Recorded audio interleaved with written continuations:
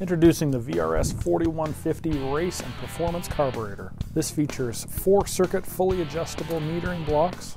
This has high capacity fuel bowls with notched and side cut nitrophyl floats. It has power valves for optimized jetting, and it is race and street friendly. For more information on this and our other great products, please visit our website.